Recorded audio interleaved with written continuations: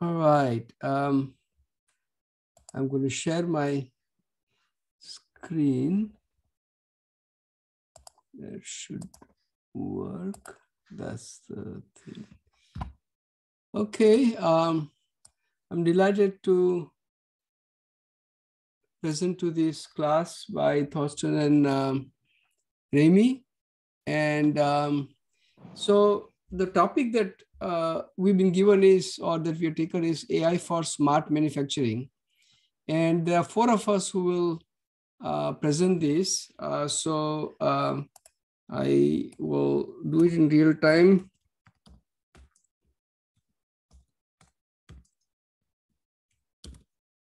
So there are uh, three of the, you know, three students um, uh, who will join me in presenting this work. Uh, we kind of roughly divided um, uh, two lectures in four, uh, uh, a, four components. I'm going to give you a broad overview, um, more from the applied perspective. Uh, and then there are three uh, technical areas um, that are very relevant to making smart manufacturing happen. Uh, one area is how do you deal with data, particularly interoperability of data. Um, as the data collected by machines should be, you know, collectively available for decision making. And Fadi is going to talk about that. Uh, then uh, Ruwan and Revati in the next class um, uh, are going to talk about a specific area of um, uh, computer vision in manufacturing. Uh, then I don't uh, and I'll just generally uh, introduce you to some of the other areas um, uh, briefly. So um, here is, um, uh, you know, I um, lead um, Artificial Intelligence Institute of South Carolina, and um, we are uh, among the, we probably are the first uh, university-wide AI organization in the Southeast US, although now there are a few more. We started in 2029. Uh, extensive educational activity that goes on. And um, uh, the other thing we do is to apply AI to a lot of different topics. So we have a broad variety of collaborations with uh, almost all uh, campus-wide institutes, campus um, colleges and schools. And uh, practically all our work involves real world challenges, real world data, uh, have interdisciplinary collaborators. And then we do research to solve real world challenge, uh, often have real world employ, uh, deployments, real use, and measurable impact. I also have a habit of uh, taking the research done in the university to spawn off company. I've done four such companies. Uh, two of them I ran as CEO, uh, and two, uh, we had professional CEO or other business people driving the company. Um, so in the smart manufacturing, um, what's happening primarily in the manufacturing, um, AI manufacturing is changing uh, substantially.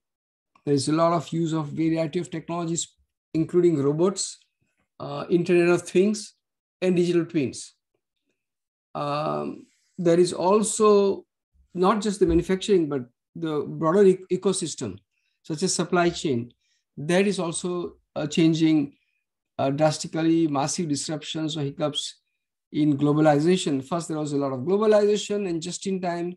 And um, last three, four years, there is a lot of uh, deleveraging and a lot of uh, break in the globalization. And uh, we had um, we finished recently a project with BMW that was all on the supply chain and logistics. Uh, the data plays extremely important role. And um, there are uh, a lot of interest in uh, sustainability. So this has led to what is called data tsunami. Um, massive amount of data that uh, is created. Robots create data, Internet of Things create data, digital twins is all you know, driven by data, you need to have accurate understanding of what's happening in the physical world so that you have a uh, corresponding digital uh, twin or digital uh, shadow that you can uh, work with. And uh, you can do analysis on the digital side to understand what is happening on the physical side. Now, uh, when you have big data, then AI can help. Um, and uh, AI can help you with recommendation, it can help you with planning, it can help you with decision making.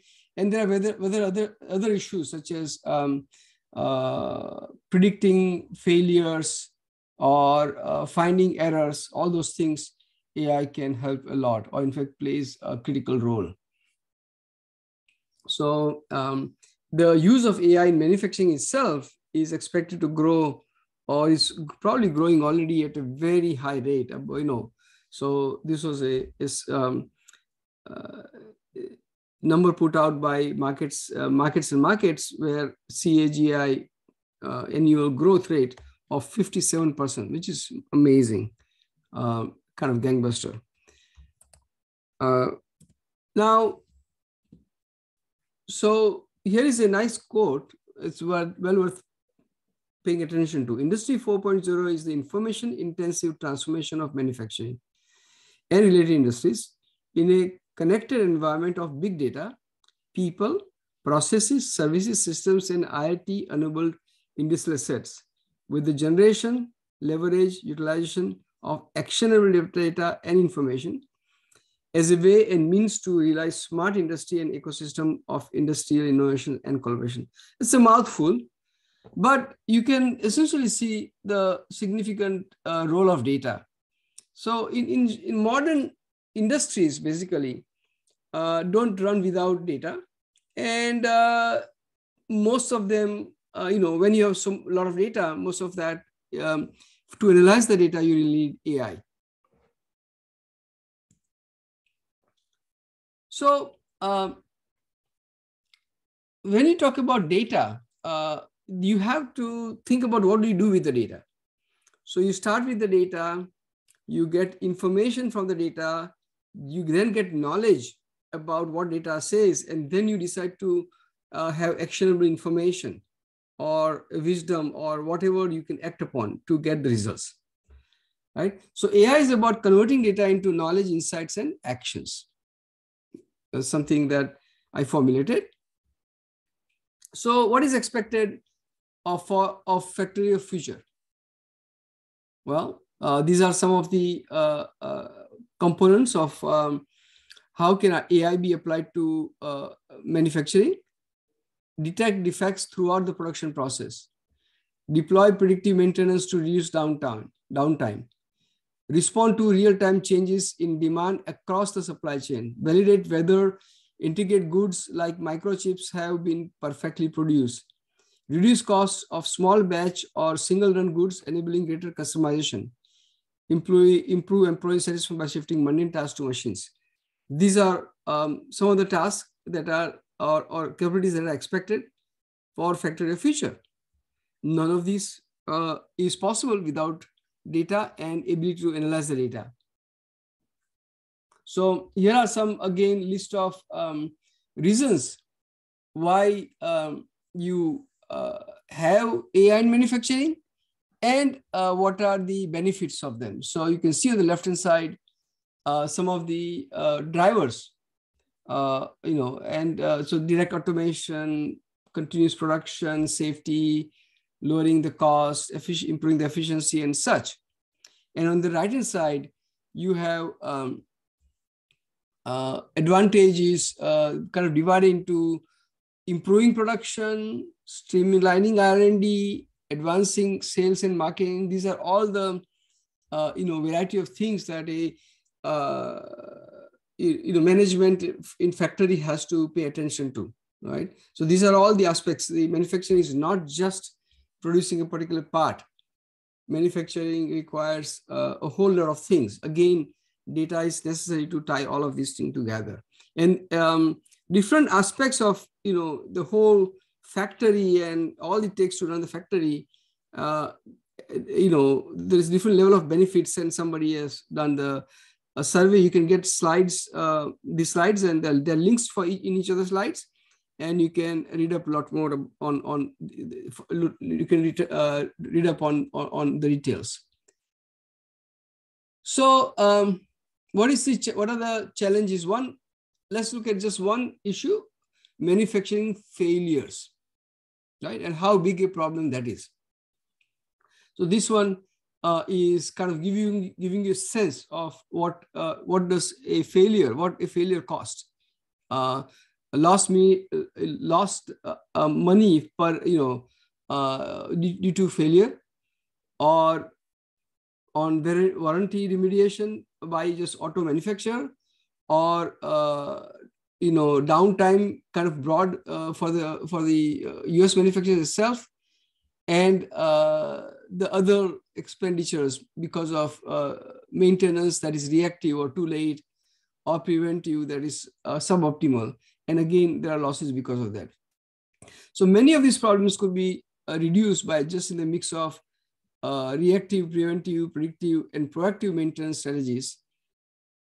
All of these, though, involve data and flood of data and alarms during a fault or overwhelms operators to find, fix, to find and fix the problems in a timely manner. So it's okay. It's very important that you have the data, but then you need to be able to analyze the data in a timely manner. Again, this is where AI comes in the picture.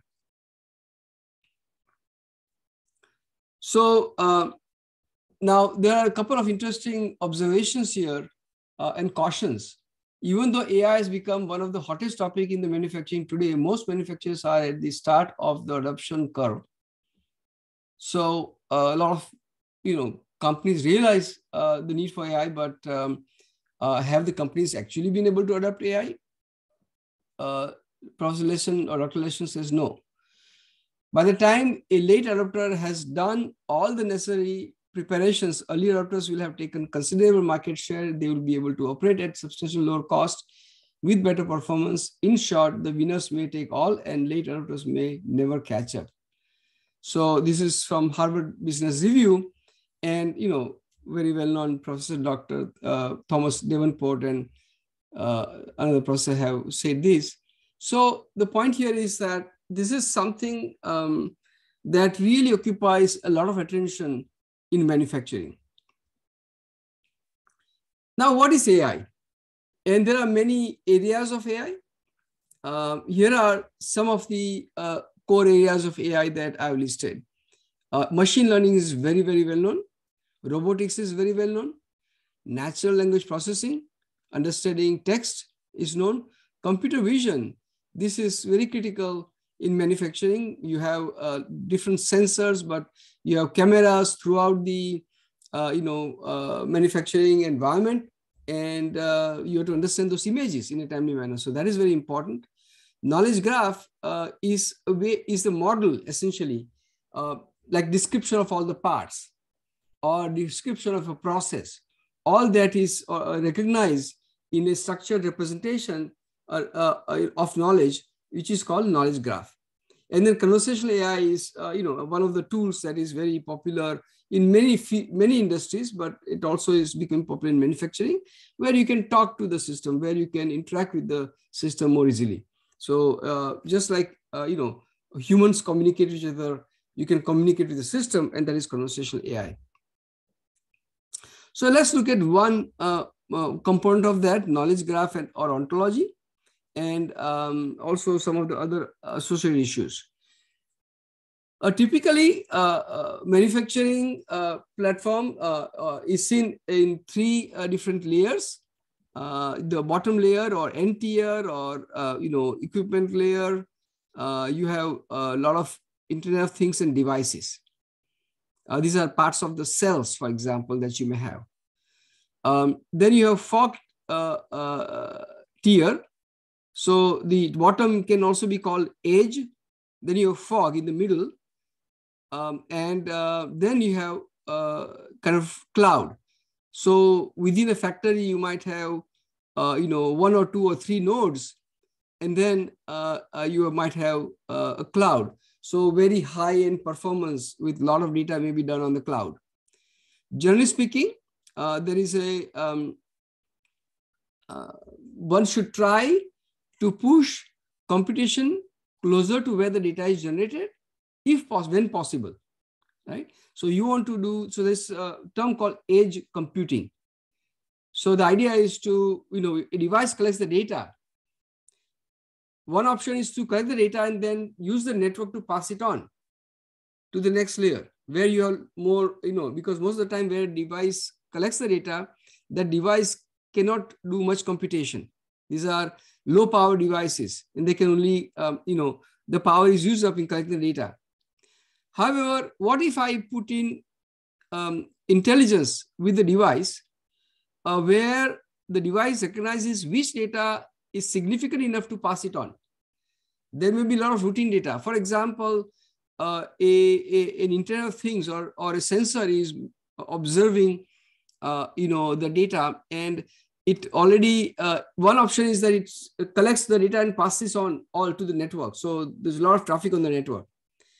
Another option is that it um, looks whether the data is within the acceptable range uh, of normal operation. In that case, it ignores and doesn't do anything with the data. But the moment the data is outside the range, then it passes on the data to the next layer, right? So this is called semantics or a meaning. You understand the meaning. Data has all the values, but you understand what is a, um, a normal data and exceptional data. And then you uh, deal with normal data differently than exceptional data. And all you are, if, if you only pass along the exceptional data to the next, uh, you know, uh, part in the network, then you can save a lot of bandwidth and correspondingly performance can, you know, be improved and so on and so forth. And the same thing applies from fog layer to the cloud layer also. So here, um, you know, uh, this is uh, at McNair uh, and, uh, uh, you know, probably at, uh, you know, and at West Virginia, you know, you, you see that um, Remy and Thorsten and their group have put in operation digital twins. So there is a actual cell, you probably have already seen these, and then there is a digital version of that and uh, the other lectures that cover these. Uh, a while ago, actually, I introduced a term called smart data. Uh, I, I used to run a company. Uh, it was a web search company. And uh, in a 2004 interview, I defined smart data. and you can see that um, smart data is making data meaningful. Um, so, um, and then later on in uh, another paper in 2015, I used the term smart IoT. Uh, so smart data plus IoT. Uh, uh, and uh, I think that paper is fairly well cited. Um, so, um, and um, smart IoT uh, would provide you device and protocol interoperability data interpretability and semantic interpretation, right? So um, let us uh, decipher each of them. Uh, on a factory floor, there may be multiple protocols. Um, and uh, each uh, and, and each there may be devices even of the same type. Let's say device, uh, there is one device from one manufacturer that gives you temperature and another device from another manufacturer that also gives you temperature. Well, the format in which both of these, um, uh, you know, uh, represent the data may be different. The tolerance of each of the devices may be different. The reliability may be different. So there will be a lot of uh, variety in uh, the uh, data that IoTs uh, create. And you want to make sure that regardless of the manufacturer, regardless of the format of the data and regardless of the protocol the data uses like mqtt is one of the protocols uh, and there are several of those right? So regardless of the protocol it uses to communicate the data uh, you can uh, essentially uh, pay attention to what is interesting which is the data and not what device is used or uh, you know all the physical uh, differentiation that each of them have right um, and uh, it so happens that um, uh, there is a uh, you know uh, standards body called World Wide Web Consortium. All of us use the web, but uh, we may not be aware that uh, the web, you know, my web page is seen by your page, or even the presentation that I am having. All of you have, can see exactly what I'm projecting. All that is because of the um, uh, the web uh, protocols or standards. So HTML and HTTP are very basic standards, but then there are standards um, above that uh, for semantic data. Uh, one of them is called RDF, Resource Description Framework, which Fadi will talk about. Now, um, in the same body, I proposed, uh, you know, uh, making a standard for interoperability of sensor data. So I um, defined a term in 2008 called semantic sensor web and started a uh, community effort uh, under World Wide Consortium called semantic sensor networking. And that um, result of that was a, a, standard from World Wide Consortium and o, o, uh, OGC, Open Geospatial Consortium, um, uh, called semantic sensor networking, which provides uh, uniform ability to um, uh, uh, represent sensor data and make that data meaningful to applications.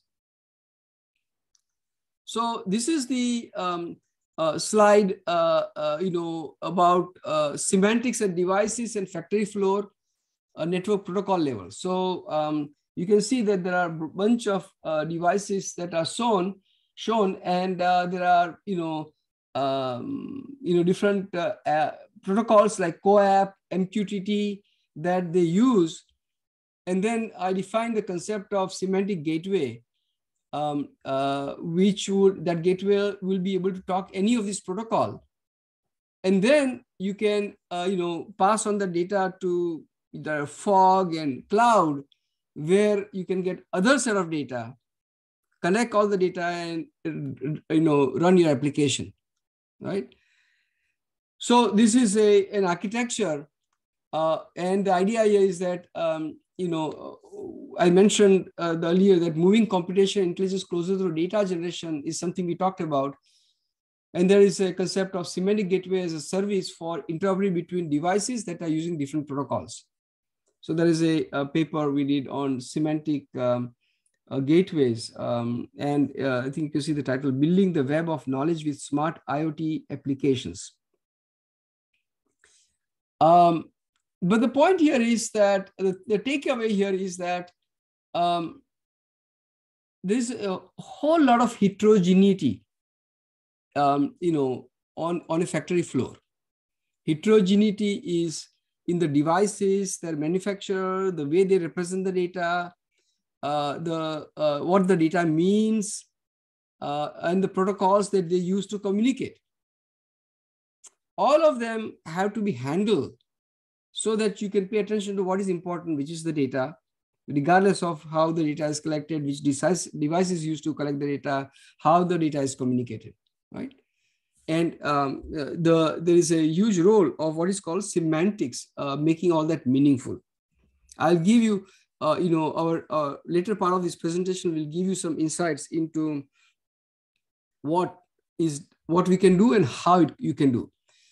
So uh, here I'm giving you some high level, um, um, you know, uh, understanding.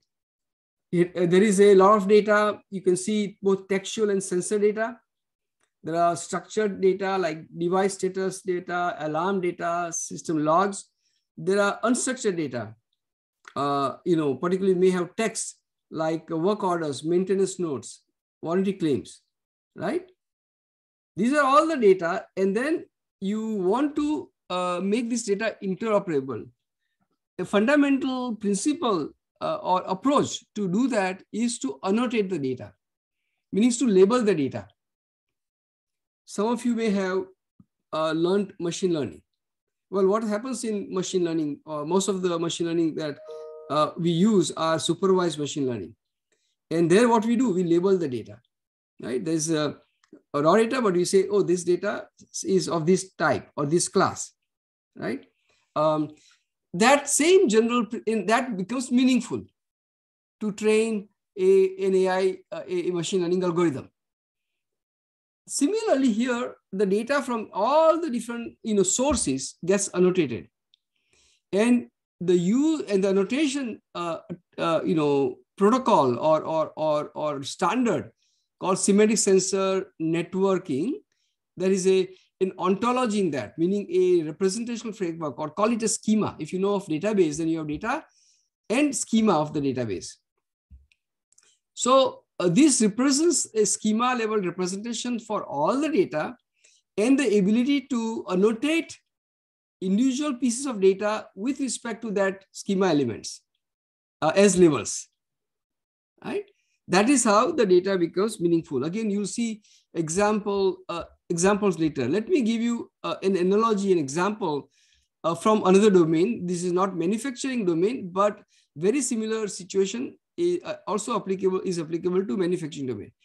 So in this application, um, uh, this is about pediatric asthma patients.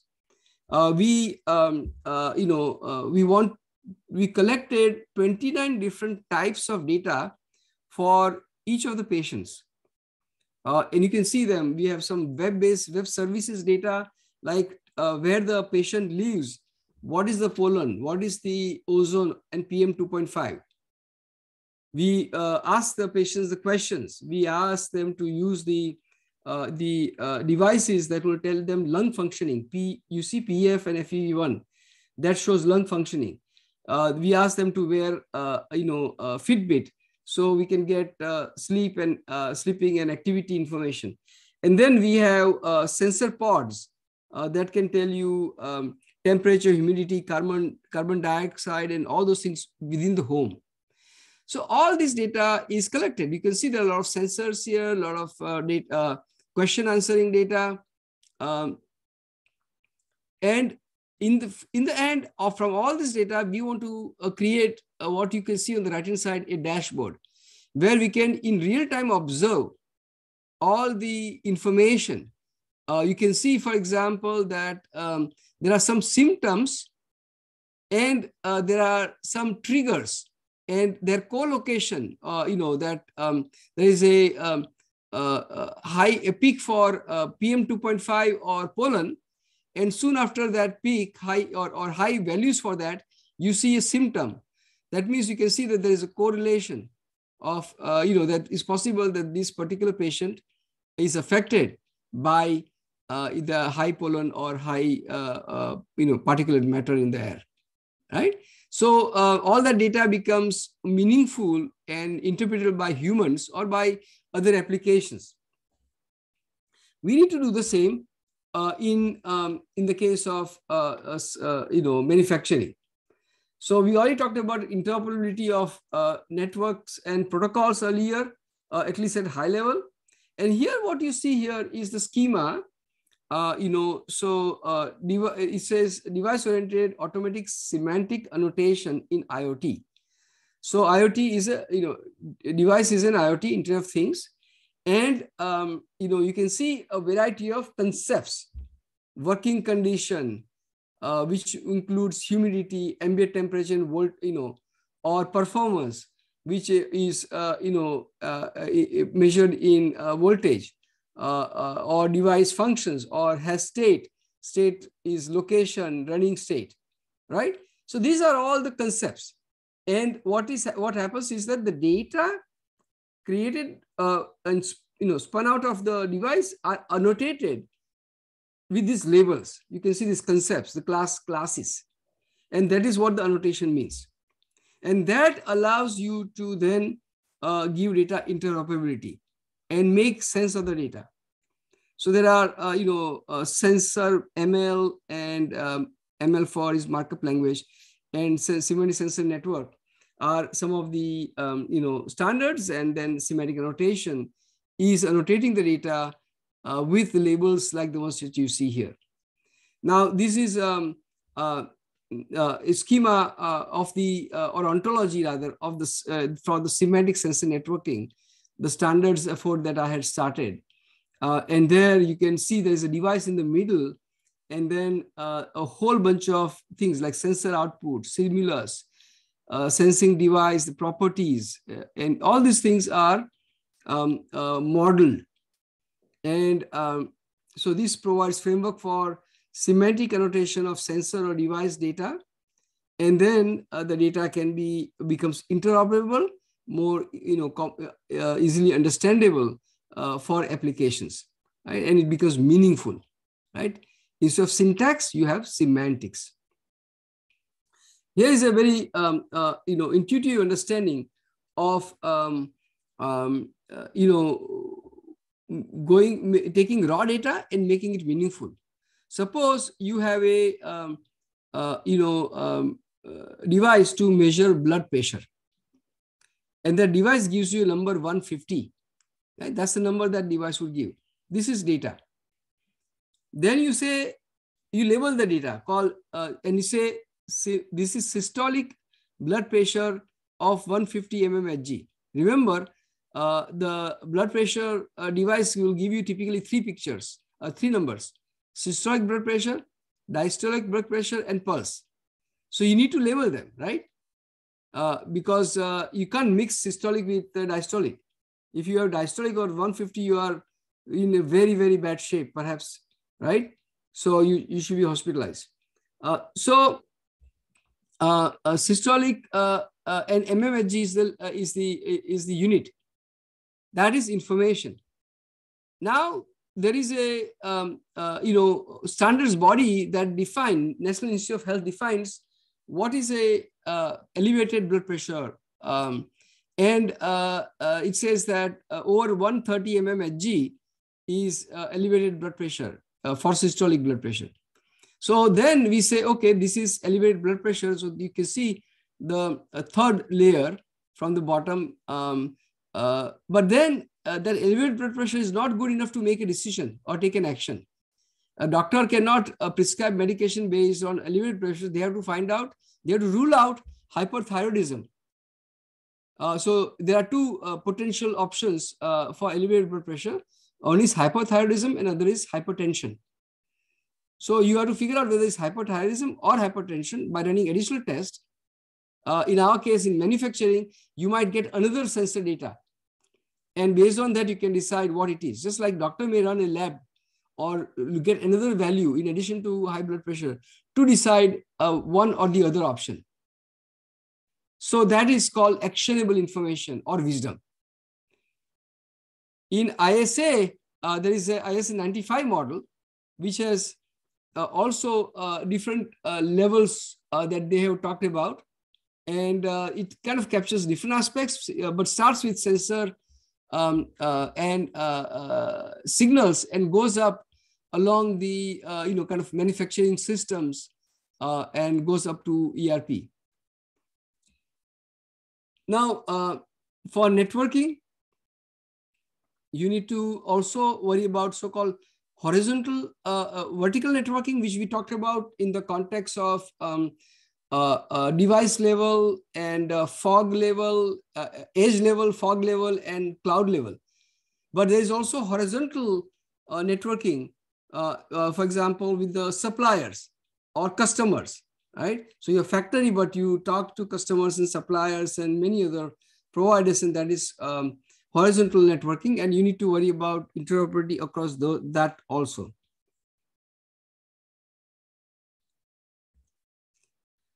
Um, so uh, this is putting kind of all of the things together now. You see top left corner, it says shows um, physical sensors. Then below that is digital twin setup. Then you have social inputs like stakeholders, feedback, market uh, data. These are all physical cyber social system on the left-hand side, right? Physical system, cyber and social systems. Then you go to the second vertical uh, you know, lineup under observations. So it's, it says you have physical sensors that have uh, variety of observations like RTD temperature, camera feed, drone image. These are all sensor observations. Similarly, digital twins have observations and social inputs have observations like market demand. Then you extract from them signals. So you uh, extract system health or process index or task and demands, right? And you connect the uh, factory with the human needs, as you can see uh, in the bottom there. And then on the right-hand side, you understand these signals so that you can make decisions. So you have, uh, you know, a system health in terms of uh, temperature, vibration, fatigue, and uh, you decide whether the health is good or bad. And based on that, decide to schedule, let's say, maintenance of the factory floor or shut down a factory, you know, a cell. All of those things, um, you know, are done uh, after you understand those signals, right? So you go from the low level data to abstractions, ones that help you make the choices and make decisions. So now we will talk about semantic integration in manufacturing. And uh, I will ask uh, Fadi to uh, take over and go into more details on, on uh, specifically how this gets done. Fadi, are you ready? Uh, yes, Dr. Do you want me to share the screen or will you? Yeah, you can share the screen. You have this. Go ahead and share the screen yourself. So okay. you can drive it. Just give me one second. Uh, while he brings it up, does anybody have any question?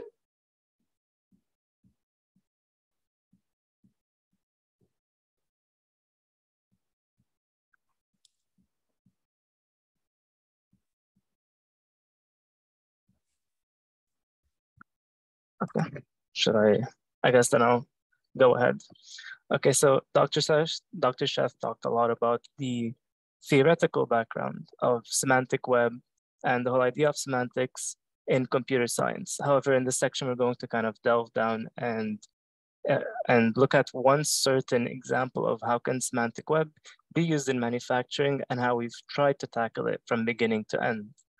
Um, and as a small introduction to semantic web, which is very close to what Dr. Sheth was talking about earlier, essentially the whole idea of semantic web is to create meaning and contextualize the data that your factory floor is generating.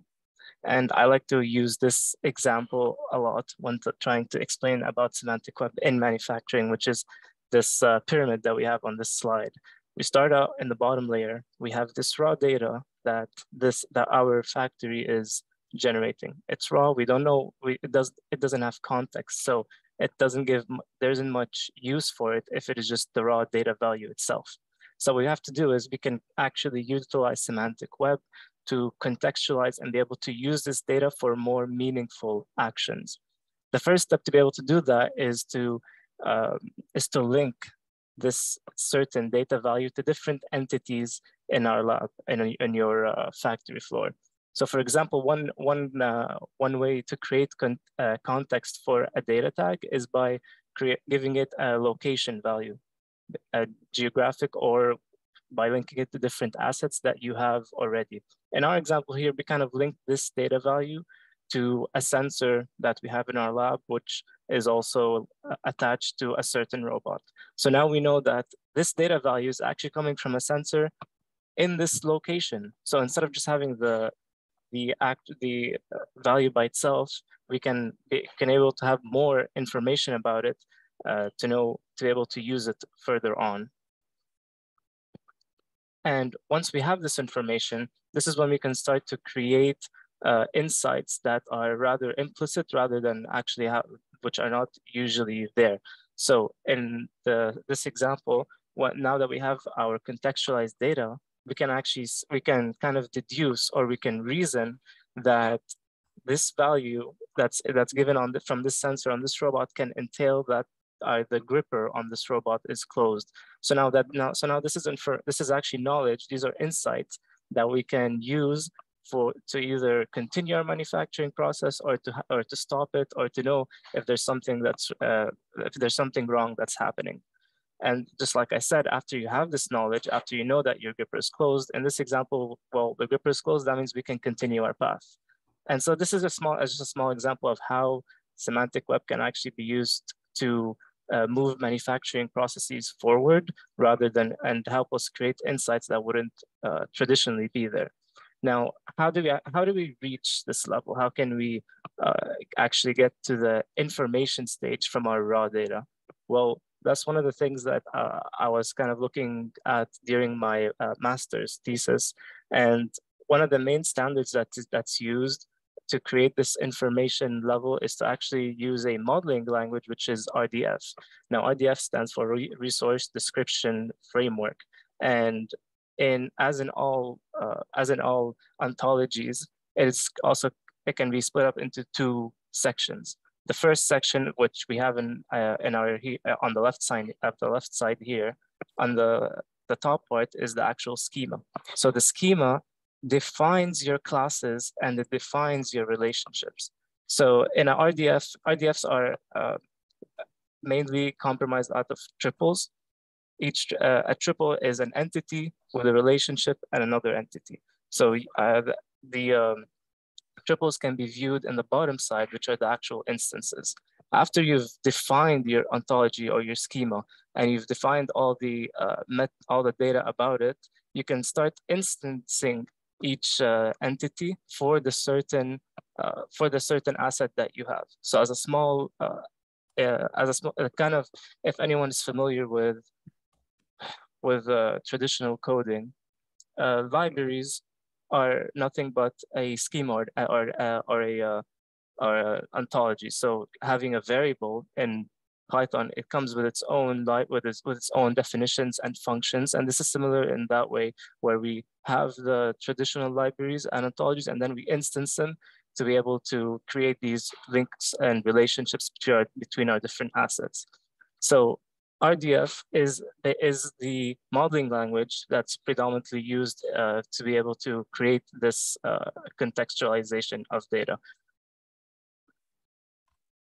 Now, now that we kind of talked about the technologies, let's, let's think about how we can actually uh, use these technologies to be able to get to one certain example. So Dr. Sheth also previously spoke, to, spoke about one of the capabilities of uh, factories of the future, which is, well, your factories need to be able to continue their manufacturing processes, even if there is uh, defects or malfunctions in your uh, factory floor. And this is exactly what we're going to try to achieve here using semantic web as the approach. Now, how can semantic web be used for that? So the semantic web deals with interoperability of data. And so if we have all these, uh, if we have all the data being utilized with a certain standard, so that means your machines in theory can be able to reach to all the different uh, information that it needs to be able to uh, deduce the knowledge of whether of what uh, of what is currently happening and then what needs to happen next. In our certain example here, we're going to be uh, integrating a lot of different uh, information sources. The first one is the actual data generated from the factory floor. So you have the value from the sensor. We're uh, going to look at how we're going to take this value from the sensor and integrate it with different uh, information sources. And then the second two are the domain knowledge and the manufacturer specifications, which I will talk about in the next slide. However, once we integrate all of these together, we can actually use semantic web to deduce, well, is our, is our current sensor functioning or not? And based on that, we can see if it is, then what should we do? And if it is not, then what should we do then? First step, the first step to actually uh, realize this use case is how are we going to uh, is what, what's the information that we need to integrate? Well, like I said, we have the domain knowledge and the manufacturer specifications, and those hopefully will be will already be uh, present to the different assets that we have in the standards that are required. However, our generated data that's coming from the factory floor essentially comes in a raw data format, which if we go back up here, you can see this is, it's still in the bottom layer. And so what needs to happen is we need to figure out how we're going to translate or annotate the raw data to be able to integrate it with the other information sources. And this essentially is a breakdown of all the of all the different information that might be used or that need to be used for us to be able to uh, realize this use case. Starting from the left to right, the first, the first column shows us the factory data that generated, uh, the, the data that's generated locally. And this, uh, this information also uh, utilizes the semantic sensor network ontology, which was one of the standards that Dr. Sheth was uh, speaking about earlier as well. So uh, the essentially what the semantic, what this ontology defines is how can these entities be linked together so that all the different assets know how the relate, what, what are the relationships that it should be looking for and how to query through this information to reach the correct entity. And in our example here, we have a sensor, which is a potentiometer. this potentiometer gives us a certain value. Uh, and uh, as you can see as well, the top part shows us the schema, which is how the ontology is mapped out. And the bottom part shows us the actual instancing of the schema, which is how now that we have our library, how are we actually using it in our certain use case. The middle column has the manufacturer specification. Essentially, this, this information is used for us to know what is, how is a sensor actually, how is this sensor supposed to act? So what's the regular uh, output range that we should expect from the sensor? And finally, the third one is the, domain knowledge in our case, which is in our certain factory floor, what are the sensors that, are, that can be used to move forward with a certain manufacturing process. So uh, in our case, we can either use a potentiometer or timer to find out if, uh, if whatever, maybe if the robot is in position or if the robot's gripper has closed and so, and we can move forward from there. So moving back to one of the main issues of this, uh, of this use case is, well, our lab gives us the, uh, I mean, sorry, our factory floor gives us the raw data, but how are we supposed to translate or annotate it to be able to use it in semantic web? Well, um, well, one of the one of the applications that I was able to develop through uh, during my master's thesis was uh, was an application that was deployed on an edge device in our uh, Future Factories lab, which reads in the raw data, reads in the actual value that the sensor is uh, out is generating, and then annotate it or translate it to RDF using the standards that we talked about earlier. And so this application is actually deployed right now and it works in real time where it, it reads the data that's get, it's getting from the conveyors or robots and sensors. And then within the edge device, uh, translates it to a RDF model, which uh, uses the uh, uh, semantic sensor network ontology. And this was done through a simple uh, toolkit, which, which, uh, which needs the user to create the mapping that uh, we are looking to use. And then after the mapping is created, then this toolkit can actually link this different data to the entities that you created in your uh, mapping. And of course, this was uh, all the communication uh, was even set up using different uh, protocols, whether it was MQTT or OPC.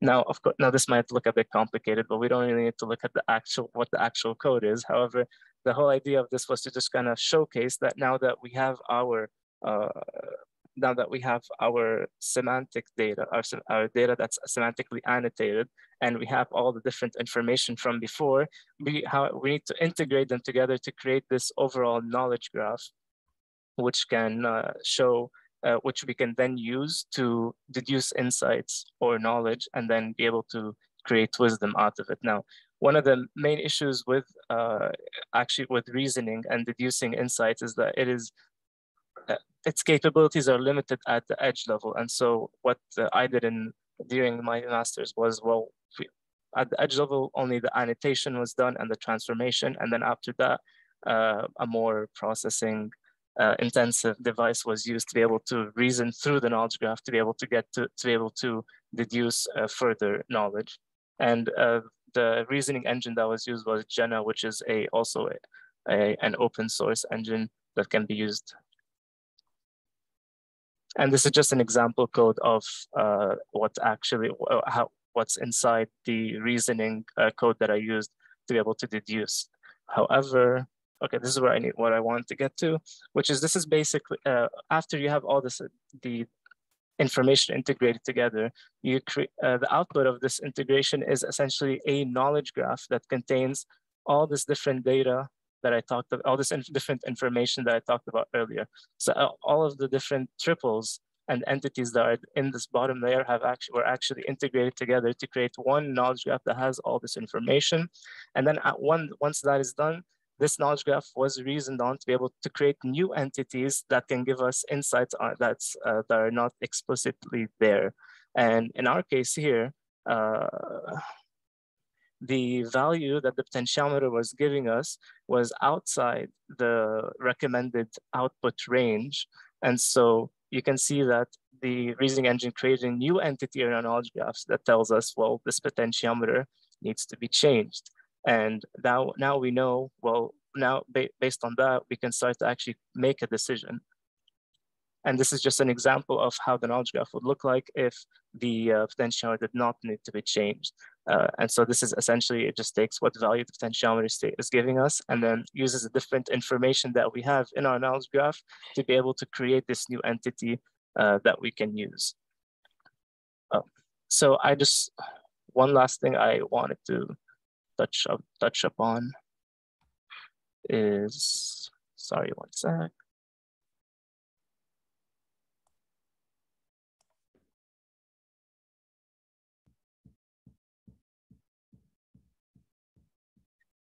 Okay.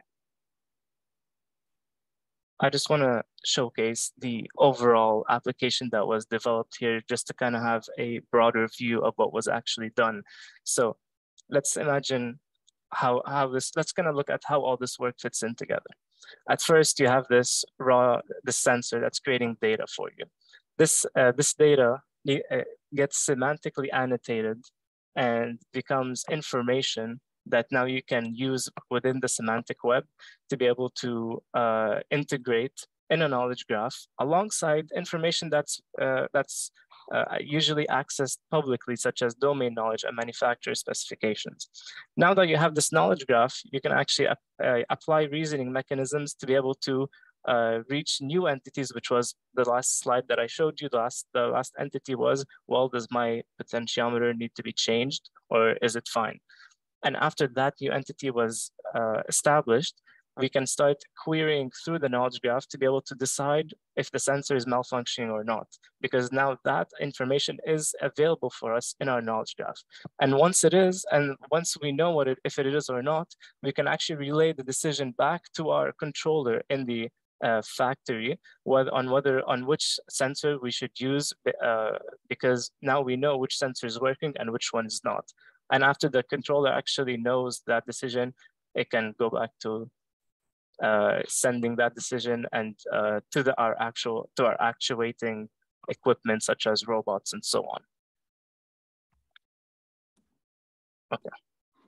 Uh. Sheth, I believe that's the uh, whole yep. section. I think uh, uh, this last one, uh, you know, uh, last slides brings everything together. Um, uh, Fadi, we can talk a bit offline. Um, there are other things that we can add there about interoperability and a uh, few other things that uh, probably are also important takeaway. But I think in, in, the sense that you know your raw data and uh, consider an example where um, you want to uh, starting with sensor generated data that leads to robot to stop the operation or for robot to open the hand or close hand or you know or stop doing what it is doing.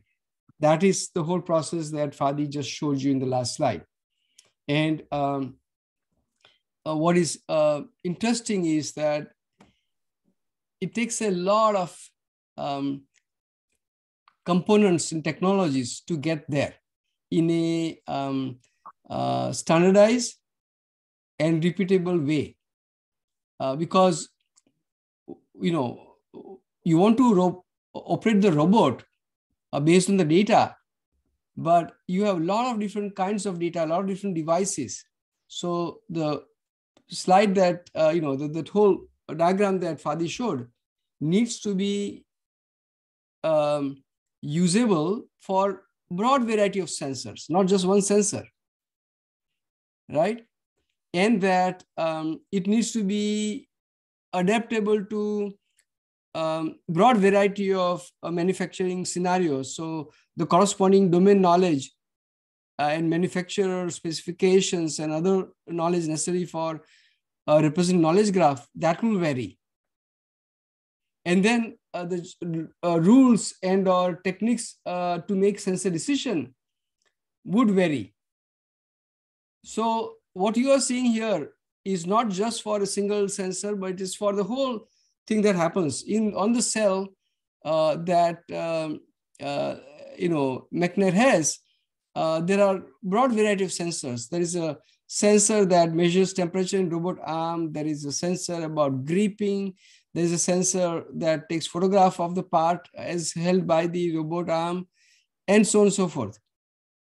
So all of them, uh, you know, this this whole process uh, needs to work continuously for all of these sensors, all of the um, not just this cell but other type of cell.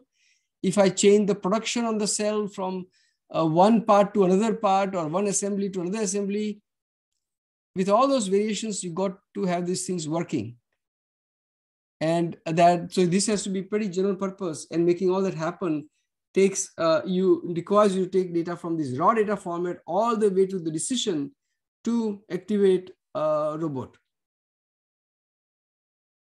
And then continue the cycle and continue monitoring uh, this whole thing. Now of, of course this is just one example of semantic web uh, in manufacturing. However of course there's so many more there's so many more advantages of of of actually using this in real manufacturing, which is well, the whole idea of it is you're going to have this standardized information that's accessible by your machines uh, th uh, thanks to the semantic web ontologies and standards that have been uh, established before. And then since this information is accessible by your machines, then any kind, any type of information that it needs is already there for it. So another example could be um, if a if you're trying to cut down on costs in your manufacturing process, well, uh, electricity rates may also be some kind of domain knowledge that is uh, that that your machines can access, and based on the electricity rates, your machines can start to create decisions on when to uh, manufacture more and when to take and when to manufacture when to manufacture less, so you have less cost of uh, of uh, actual production.